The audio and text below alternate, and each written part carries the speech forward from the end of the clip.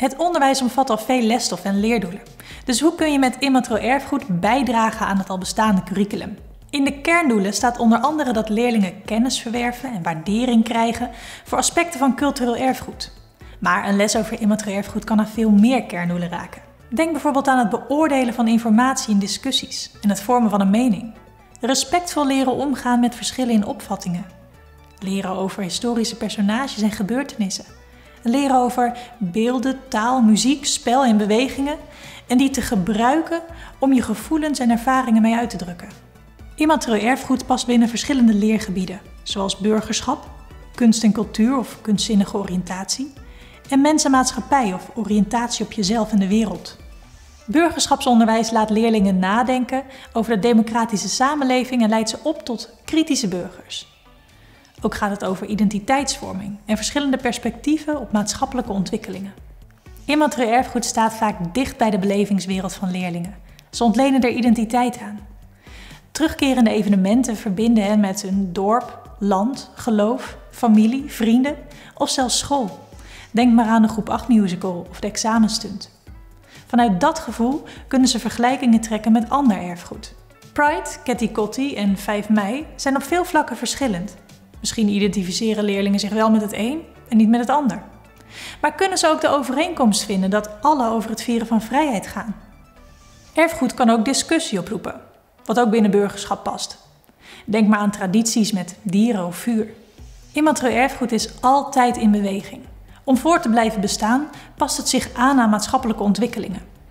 Onveilig erfgoed wordt veiliger, vervuilend erfgoed milieuvriendelijker, ambachten gebruiken machines en erfgoed met dieren wordt diervriendelijker.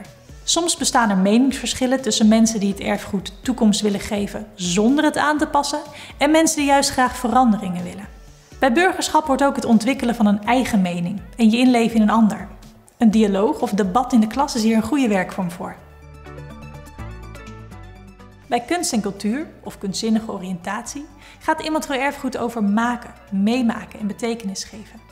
Dans, muziek, recepten en ambachten, het zijn creatieve vormen van immaterieel erfgoed die zich lenen voor een praktische les en reflectie. Kunst kan amuseren, uitdagen, verwonderen of aan het denken zetten. Net als uitvoerende kunsten en traditioneel vakmanschap. Leerlingen ontdekken bijvoorbeeld hoe je een ambacht uitoefent, zoals henna aanbrengen of een traditioneel recept volgen. In de muziekles kunnen ze kennis maken met tamboe, afkomstig uit het Caribisch gebied, of met chanties, liederen die vroeger aan boord van schepen werden gezongen. Na het maken of meemaken volgen de betekenisgeving en reflectie. Waarom denken de leerlingen dat dit erfgoed van generatie op generatie doorgegeven wordt? En vinden ze dat zelf ook belangrijk? Waarom vind je bijvoorbeeld die twee minuten stilstaan bij oorlog belangrijk om ook nog over heel veel jaar te blijven doen? Dan denk je aan de mensen die hebben gevochten voor dit land.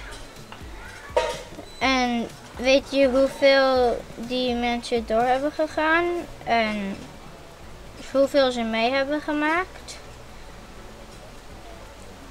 Um, ik ga zeggen over die twee minuten stilte. Het is best belangrijk, omdat mensen hebben gevochten voor je land. En dan soms moet je, en dan heb je een moment waar je erover denkt. En dat vind ik een beetje belangrijk, want zonder die mensen misschien zouden wij hier niet nu zijn. Mensenmaatschappij gaat onder andere over oriëntatie op jezelf en de wereld, aardrijkskunde en geschiedenis.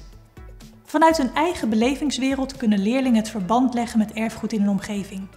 En naarmate ze ouder zijn, ook erfgoed in hun provincie, in Nederland of in de wereld. Immaterieel erfgoed helpt historisch denken te ontwikkelen, wanneer leerlingen verschillen en overeenkomsten tussen vroeger en nu ontdekken en veranderingen door de tijd heen zien. Ze maken kennis met standplaatsgebondenheid. Dus hoe de tijd waarin je leeft of de cultuur waarin je opgroeit bepaalt hoe je ergens over denkt. Wat we nu vieren en herinneren zegt dus meer over vandaag dan over het verleden. De eerste herdenking op 4 mei 1946 was bijvoorbeeld heel anders dan die van nu. Net als erfgoed dat er oorsprong vindt in het koloniale verleden. Wat is er veranderd en hoe passen die veranderingen in hun tijd?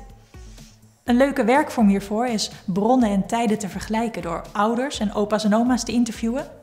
En hoe denken de leerlingen zelf dat het erfgoed er in de toekomst uitziet? Ik denk dat um, sowieso kerst er anders uit gaat zien. oude kerstboom. De kleuren van de pieten nu zijn anders dan vroeger. Voor mij denk ik wanneer ik ouder ben, krijg, moet ik zelf mijn cadeautjes kopen. Koningsdag, dat een nieuwe Koningsdag is maar Koninginnedag. Koninginnedag. Soms is, het, is, is, is, is, is een, feest, een feestje te oud en dan, en, en, dan moet, en, en dan moet die vervangen worden door een ander feestje.